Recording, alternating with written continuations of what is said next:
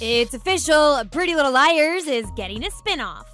Freeform greenlit a pilot called Pretty Little Liars The Perfectionist. It stars Janel Parrish and Sasha Pieterse.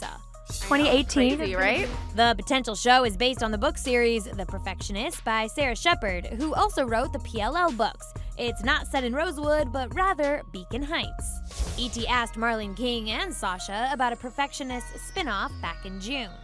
People think that The Perfectionist could tie in somehow with a Pretty Little Liars spin-off.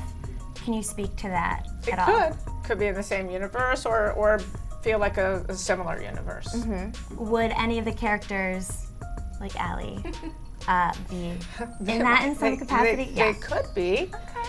I would love to be honest about everything, but No, it's I still a know. little too early. I saw Sara la- la- last week. She was out here. We had mm-hmm. dinner we talked a lot about the book and just about things she's doing and things I'm doing, and, and we love working together. And here's what Sasha and co-star Shay Mitchell have hinted recently.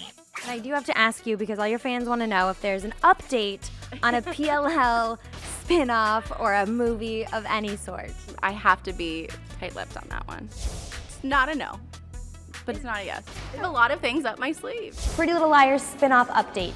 Do you have one to share with me? I mean, anything is possible in Rosewood, right? No word on which other PLL cast members will make appearances, but we think it's a safe bet they will.